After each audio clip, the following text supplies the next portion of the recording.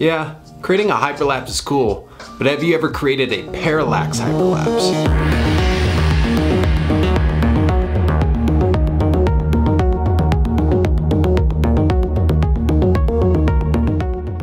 I created a Skillshare course that will not only teach you how to shoot and edit your own parallax hyperlapse, but will help to set you apart from other video creators and hyperlapse photographers. If you're interested in learning a new skill, there's a link in my bio and you can get a free month and check out the course.